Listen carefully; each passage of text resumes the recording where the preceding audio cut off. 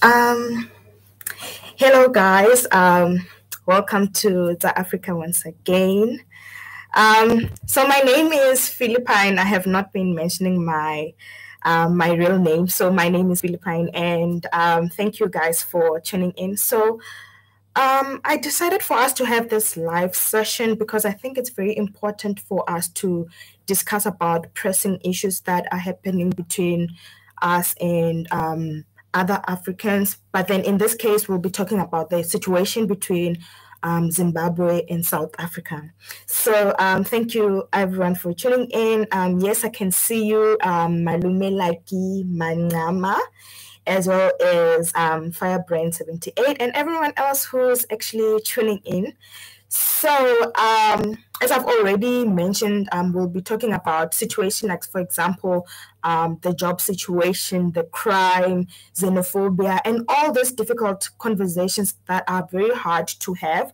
So, I think it's very important for us to um, voice out our views so we can come up with a solution, just um, to be able to listen to each other and understand each other's standpoint. So, okay. Um, yeah, so we can um, go into the situation. So before we get into the topic, um, one thing that I think is um, very important for us to notice is that, especially um, like countries that are around South Africa, we have a very um, similar culture. Like the SADC countries, we have a very similar culture, and at some point, we are the same people. At some point, so it's very important for us to um, to be able to understand like a bit of um, our differences here and there, um, like listen to each other, work it out so that we can come up with a long lasting solution that will be able to help us to get further. For example, we can be able to like um, mobilize, who knows, um, we can be able to mobilize, do something so um, it could impact our government. Probably, I don't know.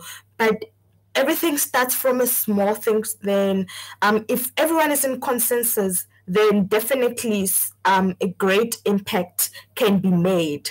So um, yeah if anyone has um, anything to say about the situation like a startup point or anything um, they can say about what they think um, the real situation or the real issue is um, between South Africa and Zimbabwe in this case, because that's the topic for today.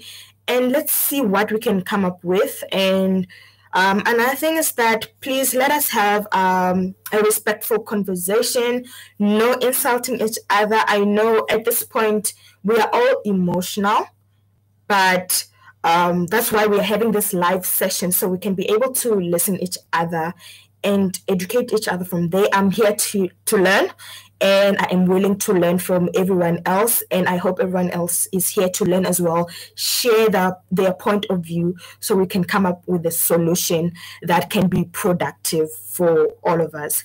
So yes, um, anyone who's willing to start, um, you can go, or you can like also feel free to like um, send messages on the comment section, um, comment whatever that you're thinking. So yeah, we can um, go from there. So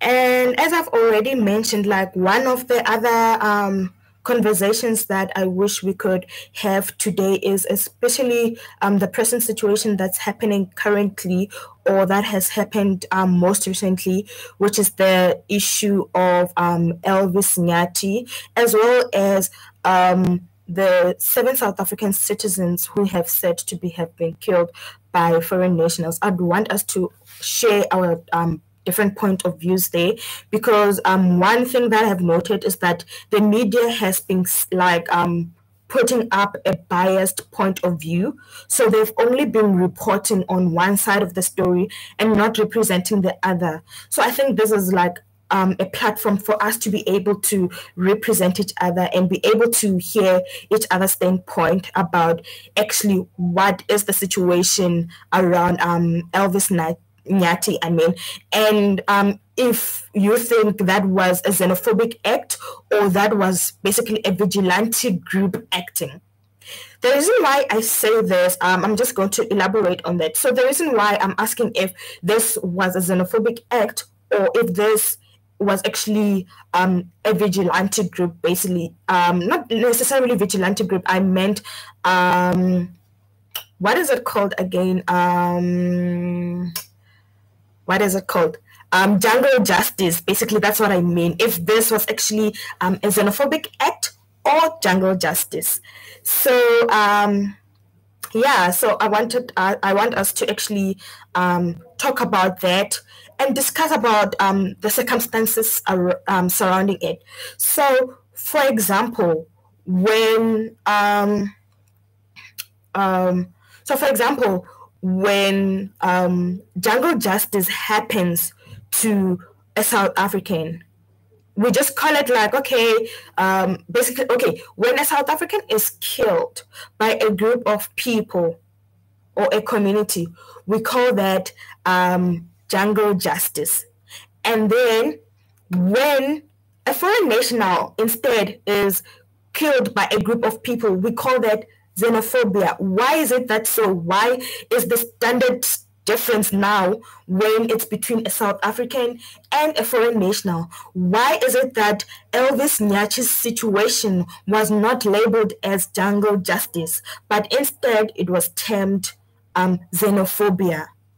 Because basically, according to me, and what I think, but like i am already saying, I am willing to learn, is that um, Elvis Nyathi's situation was more of jungle justice because the community itself is saying that he was part of the group that killed um, the seven South Africans, if I'm not mistaken. So if that's the case, then the community um, doing what they did to him was jungle justice instead of xenophobia. That's what I think. But like I'm already saying, I'm willing to listen to everyone's standpoint, like for example, from South Africans as well as um, from Zimbabweans. Let us like pour our hearts out so we can be able to heal because um, another thing that's very important when it comes to the healing process is to be able to accept the truth, accept what's there, then we can work from what we have and um, go there, um, go from there.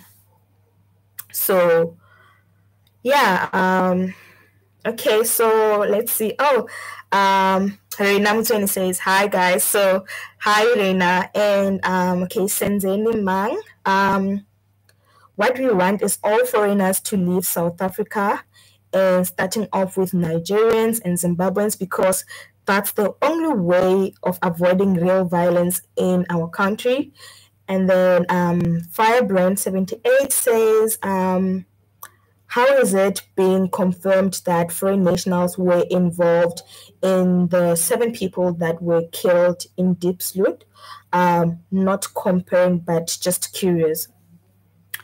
Um, so basically, from what I understood from what has been um, been said around is um, I'm actually going um, answering what um, Firebrand is saying. So, what I understand from what has been said, um, since um, um, what's his name, Elvis Nyathi is from Diepsloot, the community there, obviously the com- the community knows what's happening in the community. That's what I get from it, and the community is saying, who was probably part of the group that was involved in it. So, for example, someone from a different community can't come to probably Sandton and be like, okay, a person from Sandton was involved in this crime or not. It's the community there that will probably know the person more than anyone else. Um, that's actually what um, I got from it. But I would appreciate if um, other people have a different opinion from that but basically that's what i got from it that's why i'm actually opening up this platform this platform so we can actually hear other people's point of view and be able to um, see um, where it goes from there.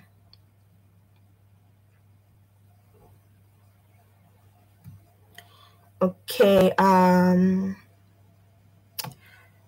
so right now I'm just trying to see. Um,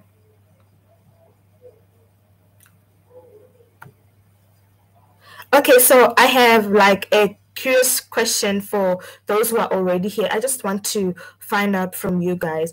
Um, do you guys think that South Africa is genuinely xenophobic?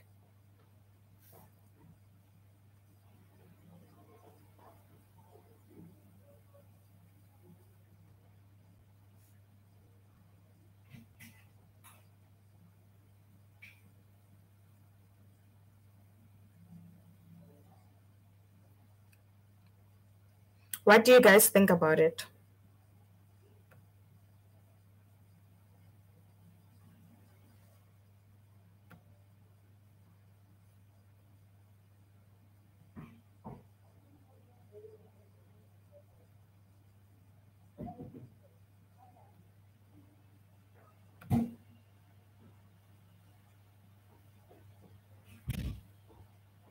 And um, another question that I also um, have, like I, that I also have, is um, if you think that South Africans are lazy.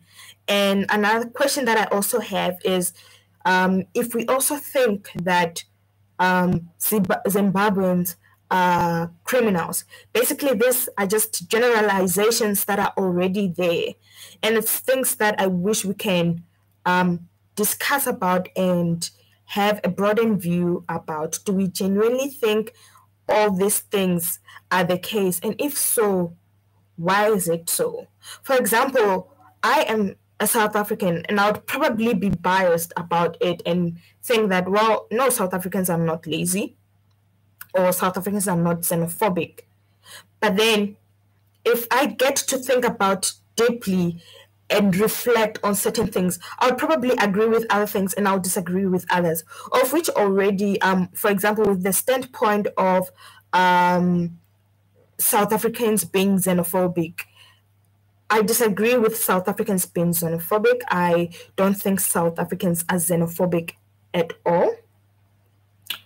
I just feel like um, certain things that happen are just criminal elements of which we already like spoke about certain things that well um, criminality has no nationality.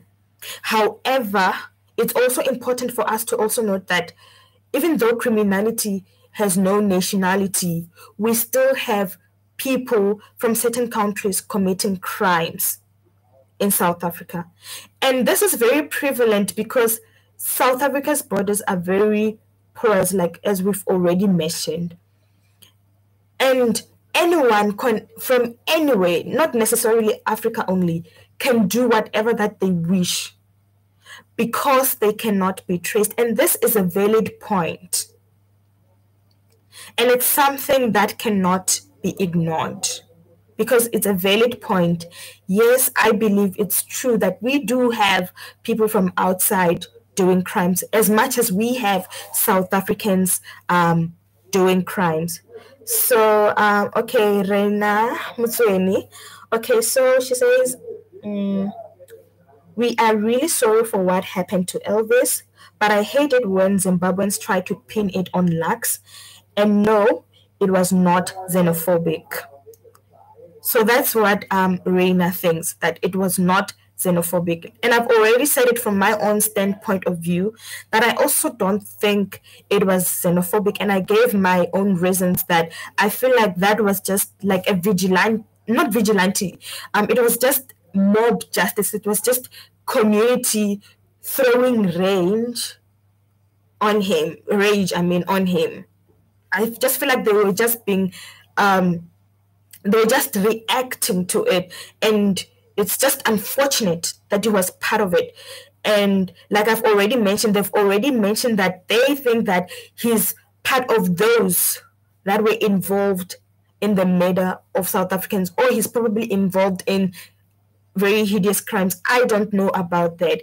And another thing that I, I haven't mentioned already so far, um, I would also like to admit that, okay, um, may his soul rest in peace. Together with the South Africans that lost their lives, may their soul rest in peace. But as we're busy nursing our emotions as well, it's also important for us to actually reflect on what is happening. Okay, so we have um, Senzeni Mang. Um, in every African country, um, they are worse than us regarding the enforcement of immigration law. Our mistake is bothering to listen to foreigners about our own law. So somehow, um, I would say I also do admit with what Senzeni said. I believe that other countries are very strict when it comes to immigration. And they do not just allow anyone to come in.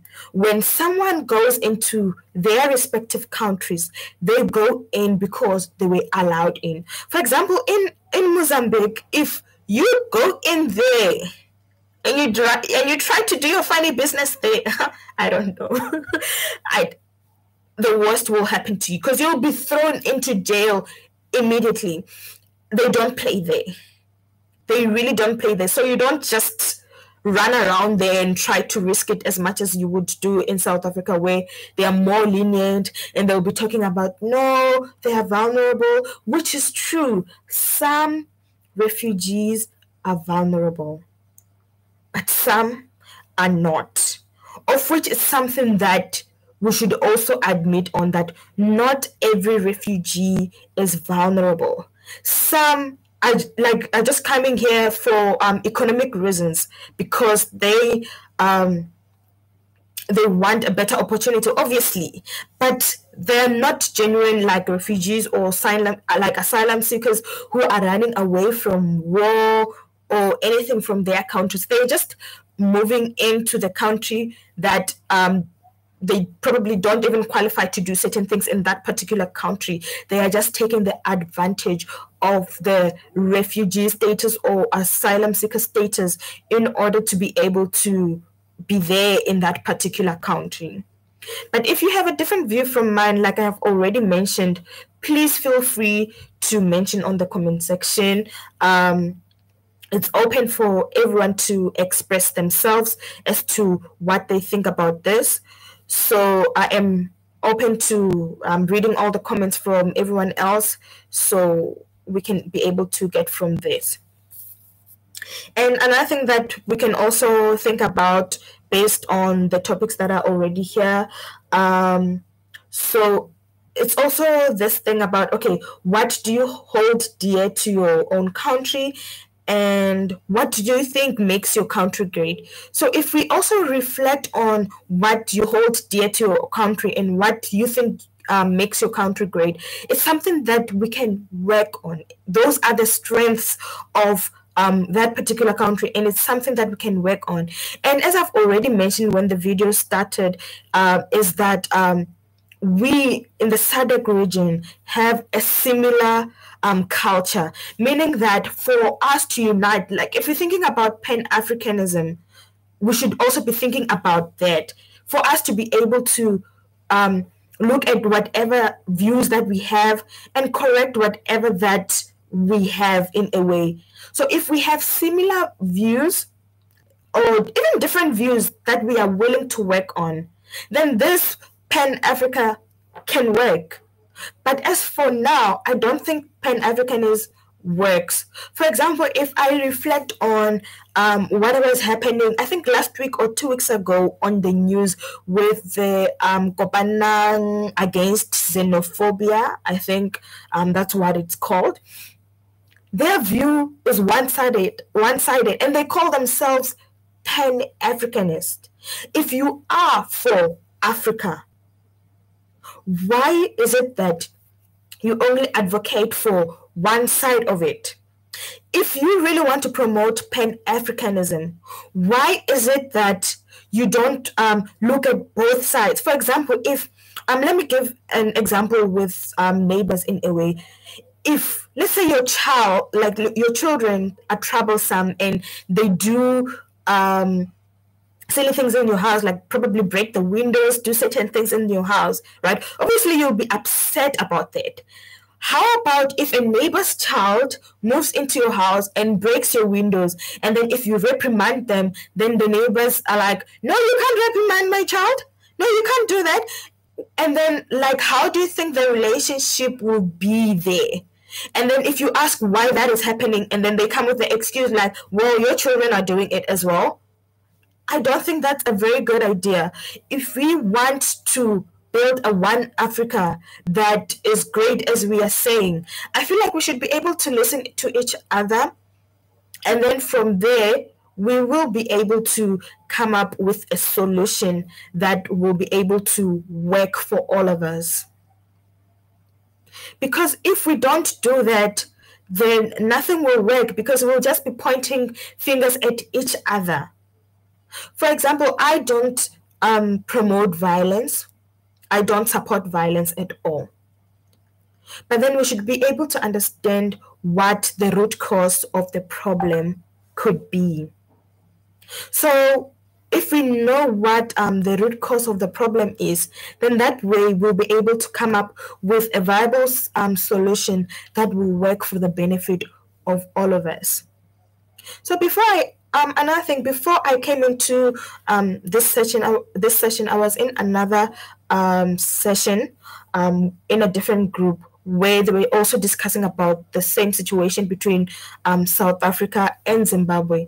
And um, this other guy from Zimbabwe, he spoke about um, the truck driver situation.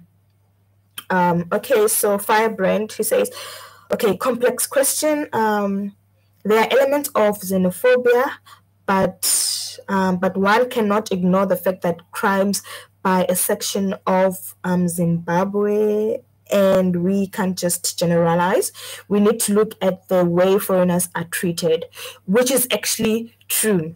So, um, if we ref- reflect on that, honestly speaking, no one is perfect.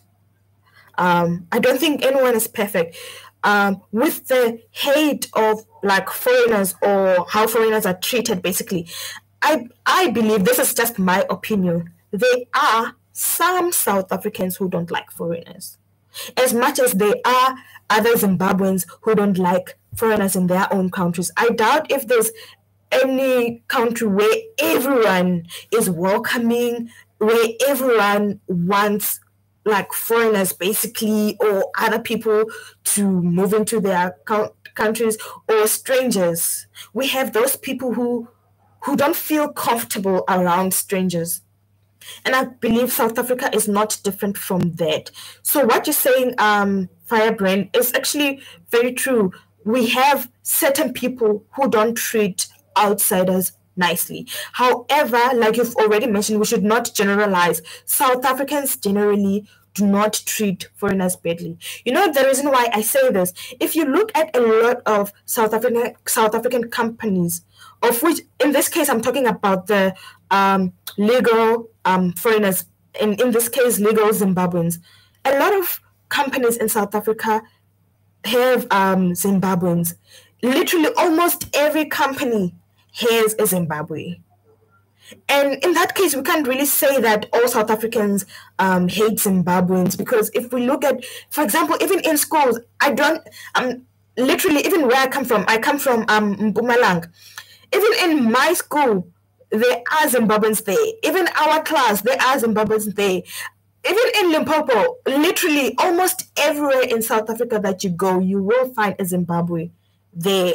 For the fact that they hired the person to be there, it means that they are more welcoming as well, even within the communities, even within friend groups. You know, the way we um, Southern African people are so interconnected in our cultures, our language, and everything. It's so easy for us to integrate together to a point that even in a group of friends, you will definitely find a, like a Zimbabwean within that group. So it's not all South Africans. You know, whenever something bad happens to someone we love or someone close to us, we kind of feel um, a bit of like betrayed a way. Let me use that word, betrayed, and then tend to general, generalize that it's probably everyone who does that. And it's not the case. And it's not the case. We can actually see that as to how integrated we are with each other. Literally, I'm sure if you are in South Africa or if you have been in South Africa, probably one of your friend groups are probably South African. And that just shows how integrated we are with each other. Um, I, I honestly can't say this about West Africans because I feel like they group themselves by themselves.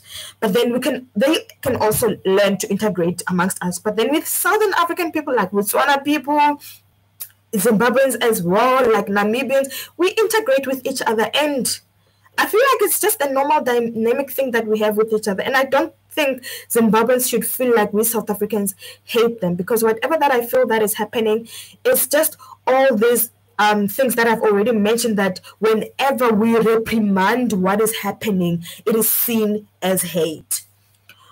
Um, so, okay. And then, um, okay, I think I saw a comment. Okay.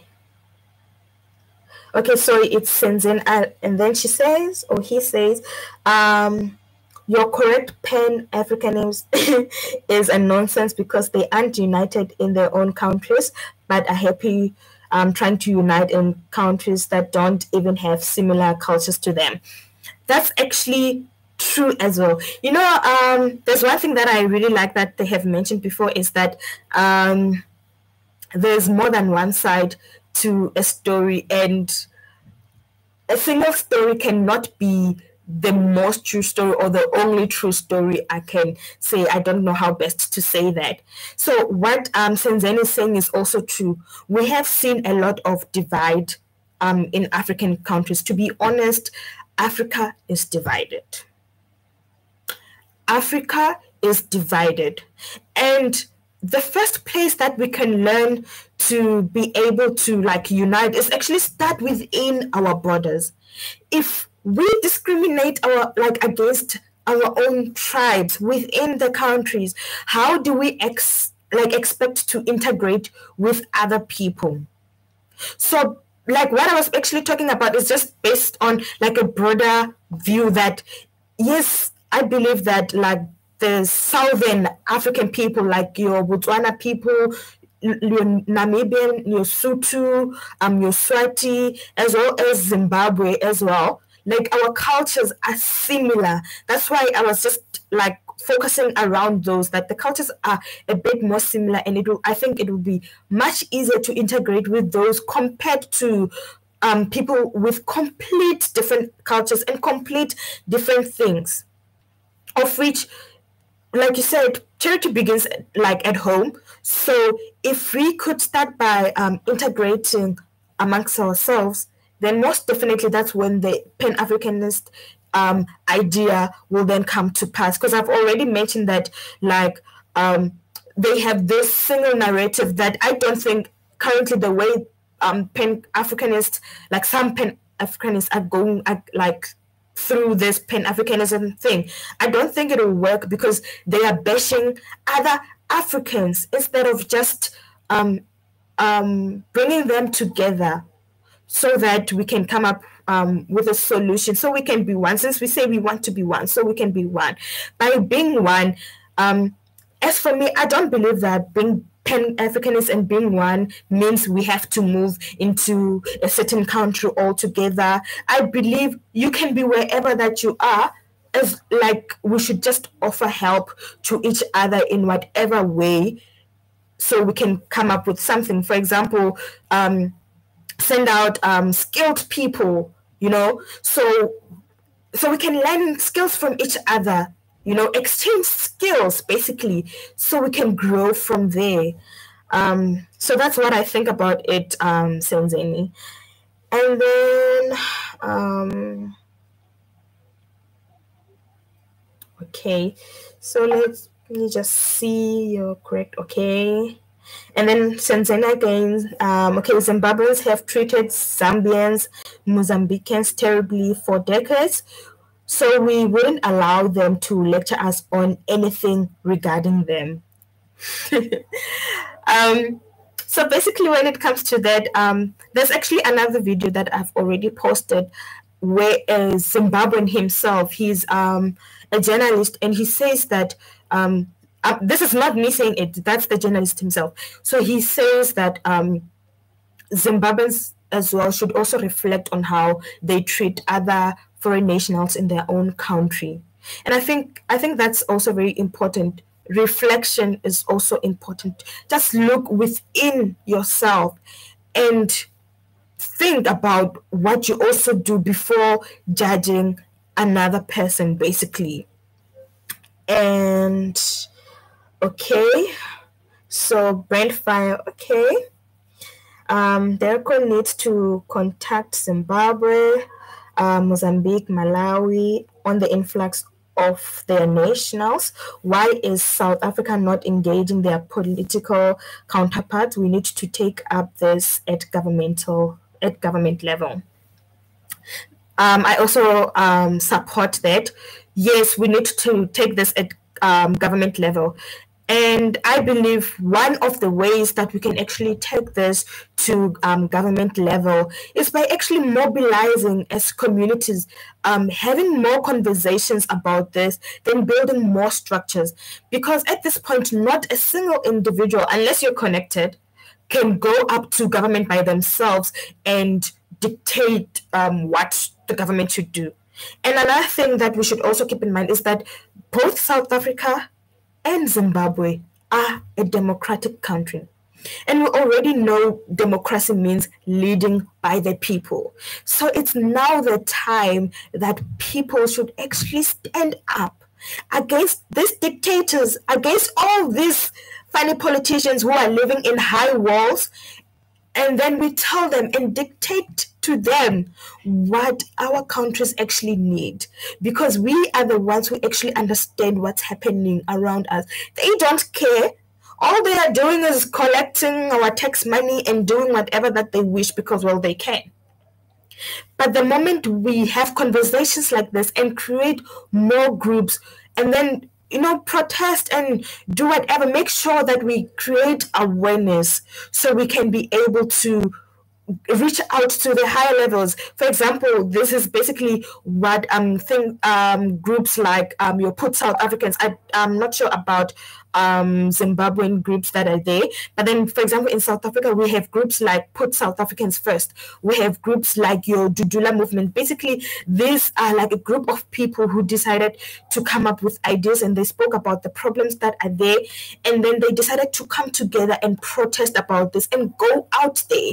And I think we should have more groups like this or join the groups that are already there in order to reach out and get the attention that we need. Because basically, what we need is the attention, and it's now that people have to speak out even more. Um, so, okay. Um, let's see another one. Okay, okay. And then, okay firebrand as well. The cost of the fence should be a 50 50 cost between South Africa and Zim. Wow, that's actually a very good idea. I actually never thought about it. This is actually very good point when um, you say that the um, the border fence should actually be a 50 50% um, share between, because basically it's a border between both um, of the countries and both of the countries should actually um, what's this participate or share in order to build the fence. And another thing that I think they should also share onto is like the security at the fence. We shouldn't, they should, um, the leaders they should actually meet up and come up with an agreement. And I remember um, when it comes to that, um, um, Dr. Aaron Motsoaledi actually spoke about this, that they actually did discuss about um, the fence and that um, the um, the soldiers, I think, yeah, the soldiers at um, in the Zimbabwean side as well as the soldiers in South African side should actually monitor the fence and then they should discuss about the situation that's there. However, he mentioned that this only had ended at a discussion level and that whenever it was time to implement this, um, excuse me, the Zimbabwean side actually didn't do their part, of which I can't blame it on the Zimbabwean side only, because if we look at the South African side as well, um, we've, we already know that our soldiers are collecting bribes, meaning that they are adding to the problem that's already there. Um, so, um, okay. And then Abels, okay, guys, we need to um, we need space to breathe so that we can sort interval affair or internal affairs as South Africans. We don't hate foreigners, but put yourselves in our shoes. Please, please live peacefully. So, well, that's what uh, Apple said. And with regards to what um, Apple said, um, I think it should be more of those who are not really supposed to be here as as in the illegal immigrants. I feel like the message is more directed to them. I don't know if i'm misquoting what he said but then yeah i think basically that could be it. And then we have musa. Um, there's an element of evil about this whole thing. Lives will be lost in hatred amongst countries. Um, Africans are prepared to see this country destroyed, to use force to live um, in this country. Okay. You see, um, about what Musa said, I also kind of agree with him that I also believe that people are actually using force to go about this. And I also think using force will lead to violence, and we don't want that. It will lead to more violence, of which that's not what we want. We want um, things to go about the right way. And I feel like more pressure should be put onto our government in order for the right thing to be done. We need to put more pressure onto our government. So that's what I think. Um, because if not, if the civilians take um charge, that's when things go completely wrong. That's when things like now real xenophobia will now break like break out. And that's not what we want. We don't want violence amongst our people. We want our people to be able to integrate amongst each other well. Um okay. So let's see. Okay, let's see another one. Okay. Okay, and then IK or AK says Dudula home is the solution. okay, basically I support Dudula movement, guys. Don't come and strangle me. I support Dudula. Um, yeah, I support it. I believe it's um, working amongst like the rule of law. But yeah, you can give your own opinion on that. I support Dudula you can give your reason why you think it's not supposed to be. And please give valid reasons if you don't think though. So because i think it works um, with the police and it works um, around the south african constitution. So the only thing that i'll say um, everyone was condemning is them um, asking people to produce their IDs or their documentation, of which at some point I, I, think that's also a bit unfair. But then I get the rage because they feel like the government doesn't want to do the to do it, and they feel like they want to um, take over that. Um, okay, so Musa, there's nothing genuine and honest about uniting Africa only in SA. It's just plain self-interest and a lot of hot aim. I agree with Musa. If we want to um, unite, it shouldn't be just one country. If we talk about open borders, don't say South Africa open borders while your own borders are closed. That's what I also believe in. Let's or if we say open borders, then come to a consensus. Everyone does that. At least that's something. But then another thing, before we consider doing that, we should work on the internal affairs that are already there. You know, have um, conversation, discussions like amongst the leaders, and then let them come with a proper solution. They are leaders. We pay them for this. For the fact that we're paying tax, it means that we are paying them for what is happening. So they shouldn't act like big bosses or anything. We are paying them. They are our servants, and they should act like one. But eh, apparently they are not. So. Um, okay, Firebrand, as a Zimbabwean, I get hot under the collar when Africans don't know their history. My aunt who comes before my mom was married to a Malawian, the one that comes after her to a Zimbabwean and all in Zimbabwe. yeah, that's true. That's nice because we intermarry amongst each other. But another thing that I like saying, of, of which obviously the law states differently, another thing that I like saying is that, like, as Africans, if we look into the African culture in a way, like, you are who your father is.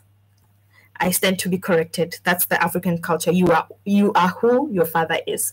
So basically, you like your parents can come from all these different places, but then where your father comes from, that's where you come from that's just the African culture. So, um, but that's not what the law says. Of, of which the law is more complicated depending on like where you were born, um, if your fathers were citizens there and there. So basically, yeah. And then Senzeni, okay. Um, Nigerians need to integrate with West um, Africans, and Bantu nations should integrate with one another. But that should be done in a federation with exchanging skills and no permanent movement of people. I support Senzeni. Definitely, I support. I feel like that's one of the best ways to go about it. And that way, if we interchange skills, meaning that more jobs can be created because now we have more skills um, amongst each other, then we'll have more jobs, then um, the quality of life will be improved amongst the people um, of which that's what we want. We want a great Africa. And for us to have that, we must be able to exchange skills amongst ourselves. And then, um, okay, so IK, as we speak, Zimbabweans are mistreating poor Congolese in Zimbabwe living in camps, torturing and assaulting, yet come and cry loud with demands and entitlement in South Africa. I'm not going to say much on that. I've I created um, um, a video on that. I just actually read an article, didn't say much. I just read an article um, by News 24, which was talking about this. However, um, other people say it's fake news. I don't know about that. I just um, read the article and I think it's valid, but I stand to be corrected. Um, so, okay.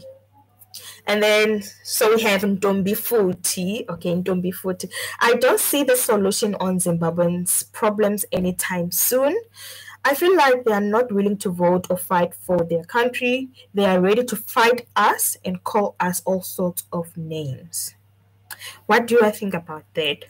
I also think that um, what Ndombi is saying is actually also true as well. The reason why I say this is that Zimbabwe recently had um, their elections, um, like um, I forgot what it's called, but then yeah, and I was so upset when they had a very low voter turnout, and on top of that, during that time, um, Zimbabweans were protesting in South Africa.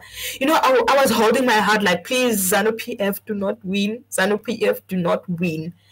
And when the results came out, I think on Sunday or then, and um, CCC or Triple C won. Oh, guys, the excitement, the excitement, guys, like my fellow Zimbabweans, I I am really praying for you guys that um CCC wins next year in your elections, please, guys, go home and vote. Since, like, we know some people don't want to live, please don't come to me. We know some people don't want to leave me, but to, like next year, when it's time to vote, guys, go in your numbers, go and vote, go and show them how much power you have. We want CCC to win. We want a different party. We want to see change. And another thing with us, fellow South Africans, 2024 comes, we are voting ANC out. I'm sorry if we have fellow ANC people on this chat, but we are voting ANC out. And um, Zimbabweans, we are voting ZANU PF out. We want change. We want to see the youth lead. And we want to see a better Africa. And for us to do that in this democratic country or countries, basically, we need to vote. So if it means going to vote and come back, uh, guys, do it do it i stand i support do it. So basically that's just my stand around there. Please for us to have these solutions we need to vote. Um okay. So another one is okay from Musa again. AC will only be forced um, by events to discuss with other governments. Otherwise they'll do nothing with Cyril Ramaphosa. Uh, guys you see Rama billion yeah, Cyril Ramaphosa. I call him Rama Billion because of the 500 million alleged, alleged Yes. So Rama Billion, ne, that guy is chilled. He's nonchalant about what's happening in South Africa. He's nonchalant about um, situations affecting ordinary people. I honestly think he's just following um, where money is and that money that will only benefit him. I think that's where his mind is. Rama Billion, that's for you. Rama Billion, hi guys. Nope. And then, um, okay, let's see. Okay, Reina, um, Malema just want to turn South Africa into another Zimbabwe. Can you imagine opening borders with neighbors like Zimbabwe and Malawi and other with their okay f up um, economies? So definitely right now just opening borders like that is not a good solution. I don't think it will solve um, southern african problems. I don't think it will solve south africa's problems either. We should work on our internal affairs and as i've already discussed it is that i think the first thing first thing to start up with guys let's vote for young people in power. Let's vote for ccc in zimbabwe and let's vote out anc in south africa basically. Let's start there. Let's just take these people out. And let's see what other people are actually saying. Um, I mean, what other people actually have to offer. Um, okay, so we have um, okay, Firebrand. People make assumptions from um, social media and take it for the truth. Zimbabwe has the largest um, contingent of um, Malawians out of Malawi. Okay. Um, Khama Billiat is of Malawian descent, as many Zimbabwean footballers and politicians. Guys, I will not disagree that Africans are talented. And it's just the government that is messing the situations around us. Africans are talented. And if we could vote in the right government into power, then we will have the best solution. We will probably see change. Let's give people a chance. And another thing that I always say is that, you know, if we vote new people in, ne, for the first term, they will want to prove us right. What I mean by they want to prove us right is that they will want to do something to um, show that well I am capable. Meaning, and when they do that, means that change will be coming, and that's what we want. But the more they become more comfortable, then that's when they become more relaxed and not do anything at all. Then, okay, we have um, okay, Musa once again. Um, I don't want to scare people, but I foresee terrorist activity take place later on in this country. Um, I'm afraid to say so. I also believe it's a possibility. The way um, immigration is not regulated in South Africa, it's a possibility and it's so scary. So it's something that we should actually look up onto, and the government should not be ignorant of this. Um, Okay, and then Senzeni, yes, Malawians are Zimbabwe, but have never been treated well. So please, no rubbish, just truth here, buddy. I don't know, yeah. And then, okay, and then trust Movex or Movax, yeah. He says, guys, come back home. Um, okay, South Africans are tired, come back home. So what we're saying is those who are unskilled, and those who are taking certain jobs the, and those who are supposedly committing crimes are the ones should go back home. That's basically what South Africans are saying.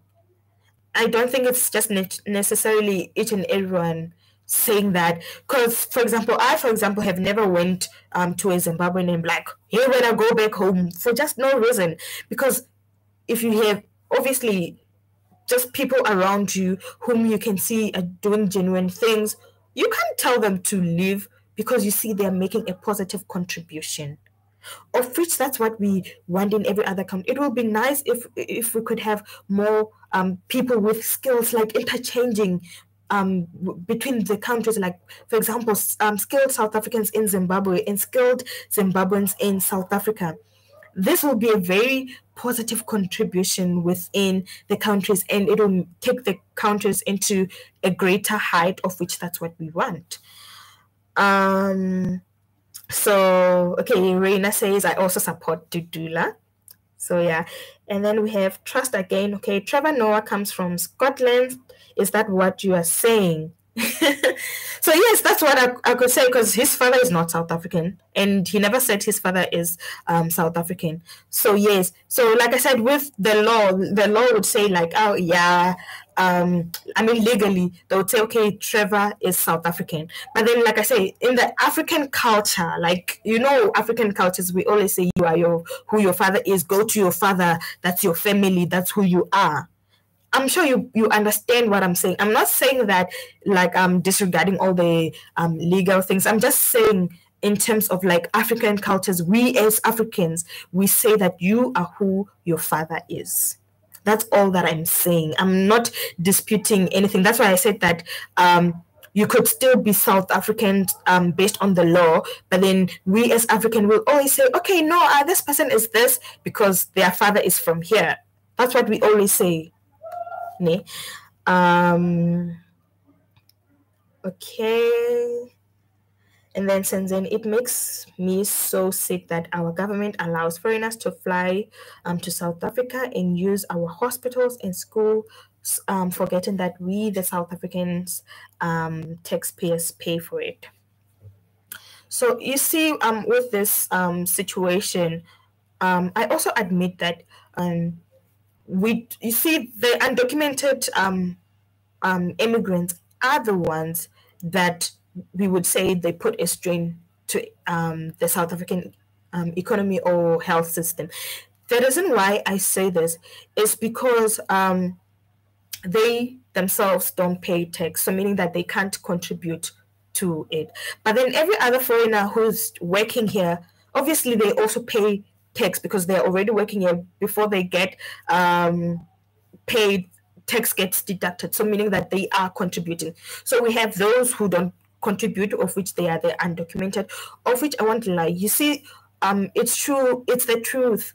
Um we may have people denying this um for emotional reasons that the hospitals near borders are the ones that are most at strain.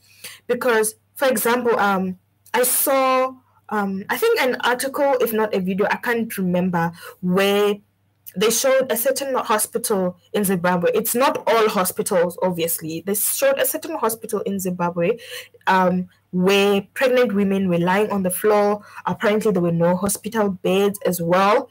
And then they also there's also another video which actually went viral where um, in a hospital in South Africa where pregnant women were also lying on the floor. And um, I think it's the MMMC of Johannesburg, if I'm not mistaken. He went there and he's the one that took the video to show that.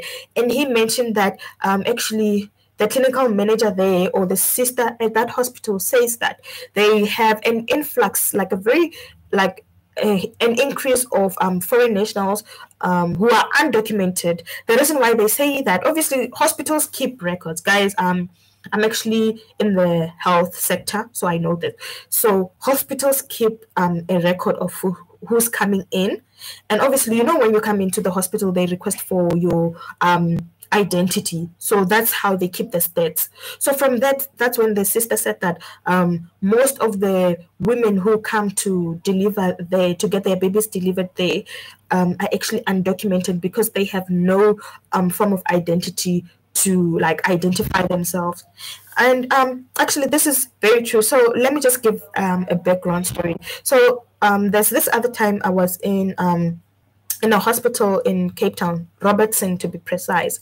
And whenever the like there were women who, who would come into the hospital and they would come in um due um for for delivery and you'd find out that they like they have no source of documentation but then another thing about our law or our health act is that um I, for example, as a doctor or a healthcare worker, I can't just say that, um, okay, or or a nurse, I can't just say that, okay, um, you don't have documentation and then just look at you and be like, ah, sort yourself out, go and get um, IDs or whatever documentation, I won't help you out. So we do have people, like a lot of people who come in and um, they don't have like the necessary documents and we can't just leave them like that. We have to help them out. So so basically healthcare professionals do face these things and whatever stats that they give are genuine because they keep record of this. So I'm not necessarily putting blame on anyone because you know you sign the Hippocratic oath that you're going to help every, everyone, you're going to um, do no harm, you know.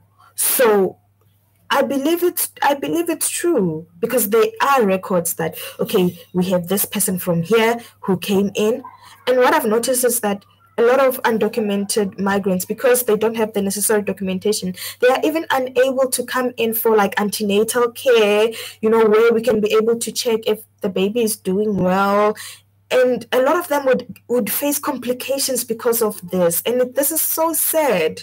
It's honestly so sad. I honestly don't like it when you're there and then you see a child um like a pregnant like a baby probably um, might experience like some sort of complications just because their mother is not booked and they don't know what problems they might have. So this is another problem again. So I do believe that um, we do have foreigners like outside by foreigners i'm talking about undocumented who put a strain into this because if they are undocumented meaning that they can't even provide a budget for these things. So meaning that they can't even provide for those people you know. Let me give you an example. If let's say you um have a party you think um, you have five people coming to your party and then you prepare for five people and then suddenly you see 20 people coming in how are you going to allocate the resources for those people that are unplanned for? Basically that's what we're saying. I believe that's what they're saying you know so yeah um Okay, so and then we have okay, so Trust says it's not free, Senzeni. Yes, that's true. For those who pay tax, it's not free, but um health like healthcare in South Africa is free trust healthcare in South Africa is free unless you are going private and unless you have medical aid for example if you have a medical aid um, and you go to a public institution you can pay for it because you have a medical aid. That's what our law says. Um, I believe, yes, you can pay if you have a medical aid. So health is free for everyone unless you go to private or unless if you have a medical aid. I stand to be corrected. Um, and then we have Senzen, okay, stop being silly, pay for your medical bills in Zimbabwe and not in South Africa. Okay. And then we have Senzen again, if terrorism enters our country, then they'll be made to leave forcefully. Every one of them rounded up. The governments need to make arrangements for them to leave. We don't need to negotiate. Okay, and then Senzen again, long live Dudula. Okay, we have life in wisdom. We will always have this problem as long as ANC is in power. I agree. as Nguni, Basotho, Khoi people, we must think practically and ethically. Most definitely. Most definitely, I agree. So after they find they are undocumented, do they get aborted after delivery? Also, is the baby eligible for citizenship? So, um, no. Um, you don't just get citizenship just because you are born in South Africa. So, like I always say, I stand to be corrected. But yeah, you don't get citizenship just because you're born in South Africa. And another thing, no, the babies are not um, aborted at all. No. So, just do a normal delivery. They are treated the same way like South Africans will be treated, basically. Um, nothing will even be mentioned about their nationality. So, um, yeah, nothing about that. The treatment is actually the same. Um, for example, let's say if um, the mothers, let's say they don't even have nappies for their babies, they get free nappies. It's so cute. I, I really love it. I I love it so much. So no, they're treated the same way. Um, if anyone ever says that they've been treated differently, I don't know. Obviously, I can't say I've been to all the hospitals in South Africa, so definitely not. I'm only um, around where I am. So basically, no, um, they are treated the same way. There's no abortion. I think that that would be very evil. Why would you abort someone's baby if they want it? So no, we just like they are just helped to be delivered, and yeah. And then okay, we have Senzeni. Live wisdom, we've been so nice, and now people are taking us for fools and notice. Um, when the same scum mm, went to Libya, they made them slaves there and no complaints of the Libyans from those same failed states. Um, so basically, with the Libya situation, this is actually very true. In um, Libya, we like there are a lot of atrocities happen there. People are put in very cramped spaces.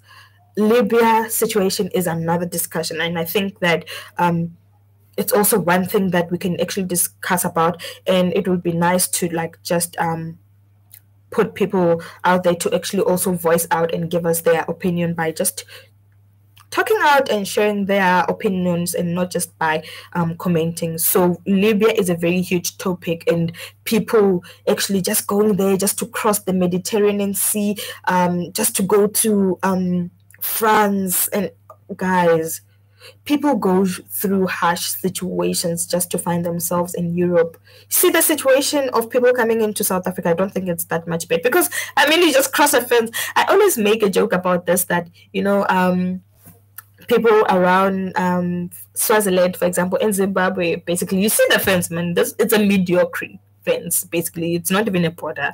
So I'm like, well, this even looks like just a fence that even I can just cross. Well, if there are no soldiers, obviously I'm not saying I'll do that because it's illegal. I'm just saying it's it's nonsensical.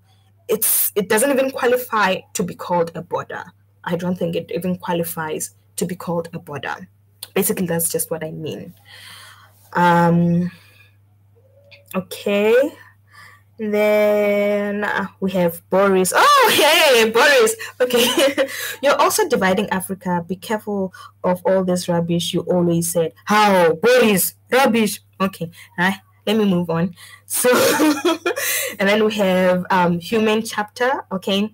We are not a rich country. We can't help everybody as a third world country. This is actually very true. We can't um, help everybody, but the, we can help those that we can be able to help. And then um, we have life wisdom again. Even illegal kids get citizenship in South Africa. Okay. I meant deported, not aborted. Sorry. Oh, okay, okay. No, they don't get deported. No. So basically, um, medical professionals don't report someone being illegal. I've never heard of that. I don't think it's done. But yeah, I, I can review the National Health Act and yeah, I'll I'll get on it. But I don't think they get deported. We can't just say, oh yay, I spotted an, an illegal Zimbabwe. Let me call the the uh, Minister of Health. No, no, no, no, no. Yeah, but like I said, I can always review um um the Health Act. So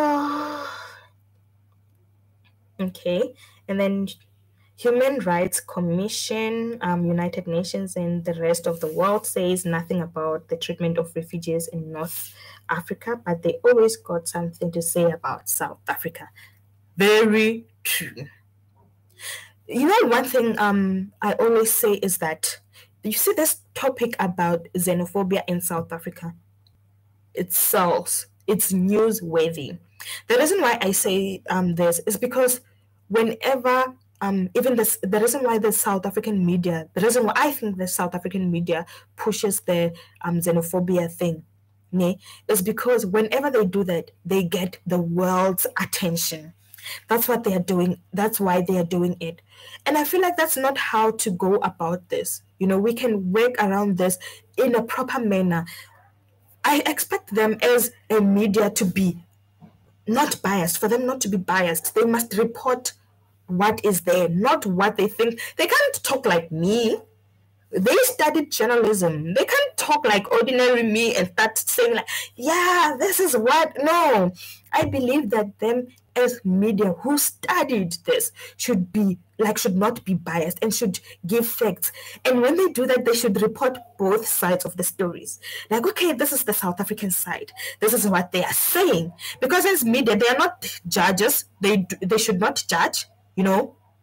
So i feel like south african media is losing the point guys. I feel like they are they're acting like judges. And i feel like they shouldn't be doing that. They should be reporting and not giving like being judges and coming up with conclusions like okay south africans are xenophobic. No i think they should be reporting what's there. You know report um the other side and the other person's side you know. Not act like judges like okay this happened. Yeah they're xenophobic. No i feel like they're so unprofessional honestly. Um okay so there's one more thing that's overlooked. We South Africans, um, Namibians, and Botswana, all of us have gone through an industrialization process. So our standards are not the same as some of those countries. That's true, I admit. Um, so we have Reina. You, Boris, don't come here with your stupid comments. okay, sorry. oh, okay. Um, live in wisdom. Okay, Lesotho and Eswatini must just be annexed and made a province of our government. Um, our government is stupid. I agree. I agree. I think Eswatini and Lesotho guys, we can just summer do that. You know, like me and you type of thing. You know. so okay. Um, okay, so we have um, okay, you must report on them um, that is nonsense. So somehow, you know, you know, when it comes to um, the South African Constitution or some laws, we can like some disagree with certain things. Um, I also have a different opinion about like the Health Act. Like sometimes I don't understand why we can't do certain things. So basically, it's the sa- let me give you an example. It's the same thing as um, let's say a criminal um, shot someone and they also got shot at, if they come to the hospital, will you not treat them because um, they're a criminal? That's the thing, they all get treated. Of which another person would say, Well, I'll just leave the criminal to sort themselves out because they caused this on themselves. But unfortunately, that's not how the health system works. You treat everyone. So we are not there to be judges, you know. Um, health um, care workers are there to give um, to take care of the people and to provide um, health to the people. So basically, that's it. Um, then we have okay um, the human chapter before there were borders we had to respect each other's territory that's also very true um, even before we had colonial borders like africans divided themselves um, within their tribes like okay the, from that river you know from that tree you can't cross type of thing. And the borders thing has always been there. It's just um, like the colon- colonialists who came in and made physical borders. We always had borders like okay you know um, after you cross that river you're in basotho land for example. If you cross that mountain you know you're in this place. So basically that's just um, another example of it. So yes um, in Africa, we always had borders, even though our borders were just not physical borders. We just had like um, certain things that would use, like maybe a river, a mountain, for example. So, um, Senzeni, Lesotho, and Swaziland should be made in our um, should be made our provinces because they are our own people. That's very true. We share even more um, similar cultures with them than um, um other people. Like even in botswana man like yeah. So um so okay live in wisdom okay at Senzeni, yes it's a cultural difference. Botswana and south africa and namibia is different to the rest of these countries. That's why they are having problems. Yeah. Okay so we have live in session true they must just give the facts not their opinions. In america um, the news is worse though. That's all they do is give their opinion. You know whenever the news does that when they're being biased right that's when things get worse. You know, just imagine if um, someone could say something else like maybe for example we have this live session now and then someone posts like oh no um south africa is like um go and attack foreigners no i didn't even say that they would just analyze whatever that they think it is and then come with their own conclusion of which like we say journalists should give facts that are there because that's their job. That's what they studied. Say whatever that is there. Don't come up with a conclusion of some sort. That's not your job. Give facts and leave it like that. That's what you're paid to do to give us the news. Don't come up with solutions and what. No, that's not your job. You just gather the information and tell us what's there. That's it. Um, okay. So we have life in wisdom again. No, they must all get treated. Yes, yes, they must all get treated, of which that's what they do. They all get treated. So basically, it's just like that. Um, but they must get reported to the police. Yes, they do get reported. So with prisoners, nee, prisoners get reported.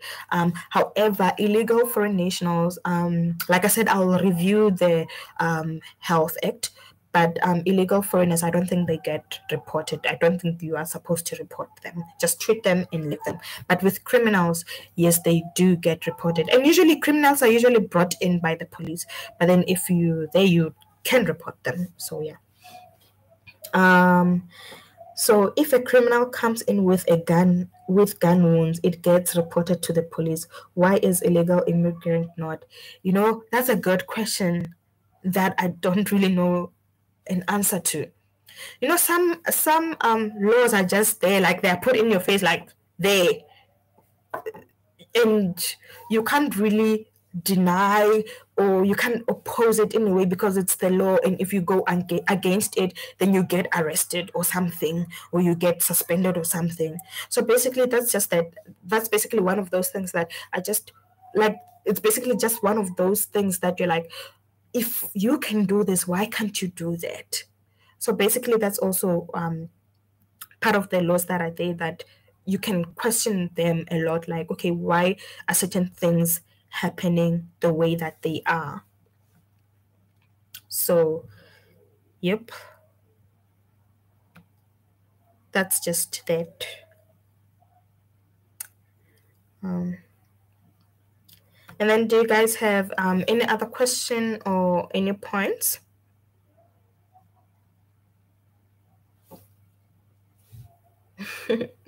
yeah, okay. Reina says good point, wisdom. Yes, that was a very good point. That was a very good point. I do agree. Um, will I marry a foreign national? Okay. So um since like okay really i i talk a lot basically. So basically um i would say this.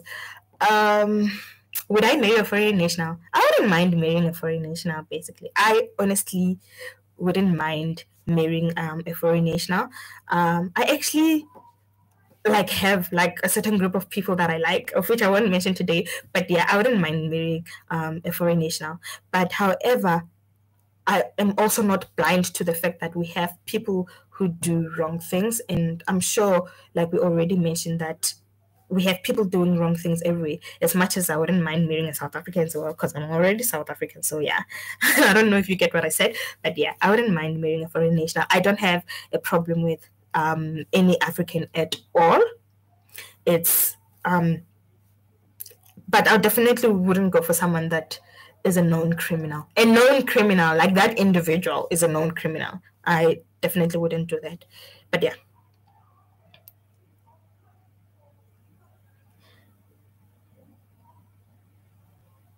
Um, live wisdom. No, hi. You you know you people you like getting guessing things and whatnot. Um, I actually like um Zimbabweans. Nee, I like Zimbabweans because well, they they look like us. You know, they look like us. Well, yeah, and I like how they talk.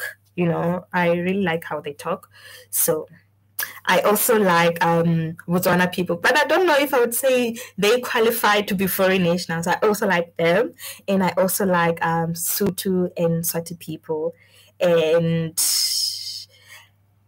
yeah, basically I'd say I like almost everyone. I I, I like um, Tanzanians. I, I probably like how they dance. I like some uh, Mozambicans. Obviously, everyone has some sort of uh, like what they like about certain people. So basically, that's just it. I I just like Africans as they are. But then, yeah, I, I, I won't lie. I was just took aback by the situation that's happening amongst Africans and that's why I feel like it's very important for us to actually discuss about these things and learn from each other so we don't um, feel hate amongst each other and then we can things take things from there. And another thing with the Nigerians, um, it's not that I hate them at all. I also wouldn't mind um marrying a Nigerian. Like I've already mentioned, as long as the person is a genuine person and they have no known criminal record, I wouldn't mind. Um okay, so live wisdom says I am a Hlubi, but I only date colored women. Okay, okay, okay, okay, my bro. no, okay. no, really nice because they're also African. So yeah, even if they weren't African. So yeah. So that's actually very nice. And then okay, ha ha ha, they don't look like us. No. I I don't know. Some of them look like us. So yeah. Um, okay, Lo, in my family we look um a little bit like Khoisans. Oh, so you guys are like the yellow bones of the country. Yeah. okay. And then we have Senzeni Man. Um, if our women marry foreign foreigners, they must live in their countries, not in South Africa. They always been Bantulo.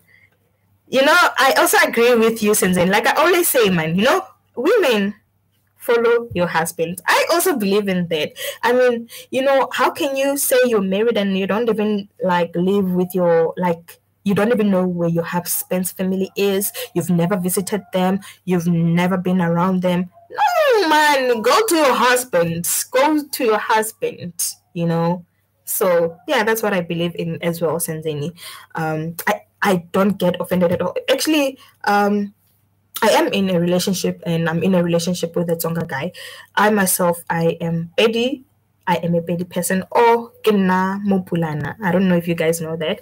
But yeah, I am a Pedi person and my boyfriend is Tsonga. So I'm already with the South African. I was just saying that I wouldn't mind if that was the case, but I'm already with the South African. So I am happy. I am happy. Happy. So yeah. So so I'm definitely not going to another country. I'll be with my guy here, you know, doing our South African things. So yeah, yeah, that was just like a little play thingy. Um, and then we have live wisdom. Um, at Senzeni Mang, I agree. Most Gwere babies that have citizenship have Nguni mothers. no comment. Even Elvis Nyathi had a South African wife. I, actually didn't know that about Elvis. I thought um he like his wife was probably South African. I think basically that's just what I meant by like we don't look that much different from each other. So mm-hmm. mm, that won't last for too long. What what won't last for too long?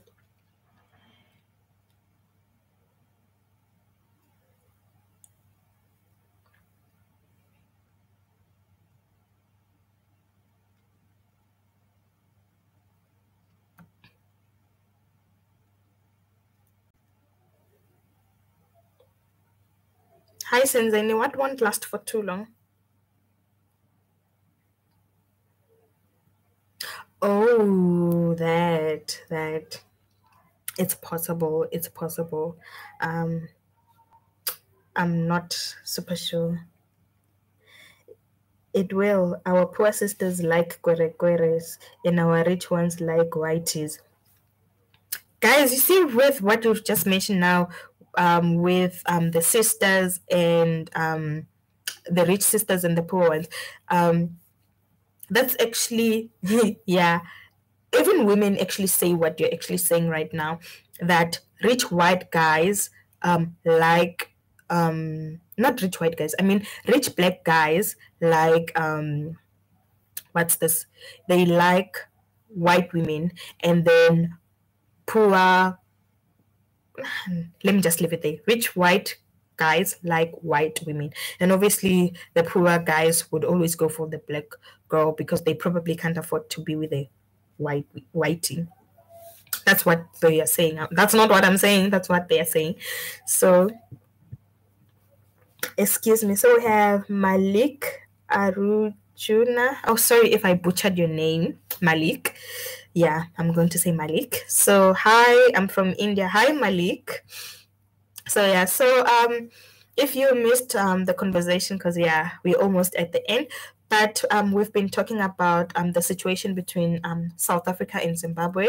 So I don't know if you know what has been happening um, between the two countries, but basically that's what we have been talking about and the situation around it. So yeah. And then, okay, so from my experience, white girls are not hard to maintain. The only problem is their families. This is actually true. The the older families are the ones that are a bit hard. So um Malik, my name is Philippine Malumani. So yeah. Welcome to the Africa Malik. My name is Philippine. Name. So Philly. Sweet pine. Yeah, Philly. yeah. So guys, um yeah we'll end it we'll be ending the live session at um like in 10 minutes 10 minutes time. And um i still want us to like actually discuss on this. So basically we'll also have the session tomorrow. But um what we're going to do is that um i'll be putting people in like you guys most definitely to um actually um give in your points of view then we'll take it from there. So I feel like um, this type of discussions are very important um, for us not to insult each other and share our points so that we can come up with a solution that will work for all of us. Um, Okay, so Live Wisdom says, in fact, white girls are very understanding. I dated an Afrikaner. Her father was not happy at first, but liked me afterwards. That's cute. It means that you were doing this. Ne? Live Wisdom, you were doing this because who doesn't like that? Yeah, probably. I'm just saying, I don't know. um, okay. Um, Philippine, nice name. Thank you, Malik. Okay, but he will say racist things like you are not like other black guys. Oh yeah, that's very rude. Like, what do you mean other black guys? I would, I would ask like, what do the other black guys do? That's what I would ask. And also, I also don't like it when someone compliments me by saying you are not like other blacks. What do you mean? I'm I am black. I can't be like other blacks. I am black. And I am black, black, black. So um Senzeni, personally speaking, I've told my children that they have to marry Bantus. If not, they'd better not come back home to my place because I don't want to know. Senzeni, that's so funny. um actually, you know what you're saying? It's it's I don't think it's um what's this? It's only limited um to South African families. I've, I've, for example, I have a Zimbabwean friend, he's male, and then he says to me that um, his father actually said to him, um, do not get married to um, a South African girl. Um, get yourself a successful Zimbabwean woman to marry. And I, I've I also have a Nigerian friend who actually said she's female, who actually said to me that um, her parents says that she mustn't get married to um, an outsider um, she must actually get married to another Nigerian. Um, I also have an Indian friend whom I once asked, Would you date um, someone outside your culture? And she said no. Um, her family wouldn't allow that. So I think it's basically certain families, actually, a lot of families who wouldn't want their people to marry outside their cultures because they somehow want to retain their cultures. So it's since then. We have like parents a lot of parents who wouldn't want their children to marry outside because they would want to um, retain their cultures. So i don't think it's offensive or, or anything. We have those parents like that. And like for example i've never re- really told my parents that i wouldn't mind um, getting married to a foreigner because i've never had a conversation like that with them. And yeah but yeah i do have people around me we do discuss about this i have you know even in within the same group we can have like south africans saying like no I want a South African, right? And within the same group, like would have like South Africans, like Zimbabweans, Mozambicans, because we have a lot of Mozambicans and Zimbabweans in South Africa. So, like I said, within a friend group, you can have all these people, like not to talk of Botswana people, Basotho people. We are like integrated, like we're just one, you know. Um, you would have like um different opinions like no uh, i also wouldn't date uh, a south african i would date a zimbabwean like oh no i wouldn't date someone outside my culture i'll date um a malawian no so basically um, it's a common thing amongst our culture um, that people do, don't want to date outside their cultures so yeah and then um Okay, so wisdom. No, I am middle class. Her family was well off. Okay, okay. But you know, we still have middle class people who would take out their whole salary because I, I, want to show you that I can provide. So I hope you didn't injure yourself that much, um, wisdom. I hope you didn't torture yourself. Um, so yeah. Um, and then Malik says, I like black girls. Oh, that's really nice. Um, I don't know if this will be offensive, but um, would your parents allow you to get married to a black girl? It's just a curious question. Um, we have okay, life wisdom. It's in For me, my kids can only marry Nguni, Basotho, Khoi, or the Namibian tribes. If you bring a Kwere Kwere or Whitey to my house, I will not be happy you know, it's so funny what you're saying right now. Uh, wisdom. You say you wouldn't be happy if they could bring a whitey, but you say that another whitey actually brought you to their father's house. That's very ironic. Um, so we have said, okay, that's the spirit we are a noble race. Yeah. Um, I mean, some of these cultures actually eat dogs and cats. We are supposed to accommodate these things. hey, hey, you know, hey, hey, uh, when it comes to like, hey, food, yeah, hey, and then that's true. So, yeah, it's it's there, and then. and then wisdom says, Yes, I will sleep with anyone from any race, but marriage is different. Yeah, I guess so, because um, marriage is a lifetime um, commitment. So I guess that would probably be the case. Hmm. I find all races of women attractive, but having family and kids with them is diff- is a different story. Yeah, that's true. Um, it's a bit more difficult for like um, other people to actually do that. So yeah, I understand.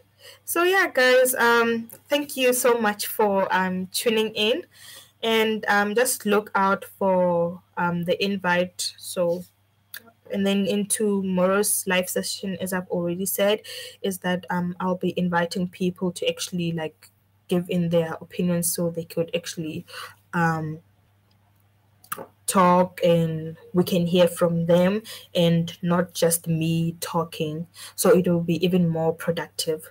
So thank you once again. And please don't forget to like and comment and share the video once again. Also, don't forget to um, subscribe to my YouTube channel and let's have the channel grow and also use this opportunity to learn it with each other, um, to learn from each other, I mean, and to you know, grow from here. So thank you so much for um, coming. I really appreciate it. And yeah, I love you guys, Shame. Thank you so much. Bye. Um, okay, so yes. Okay, bye, guys.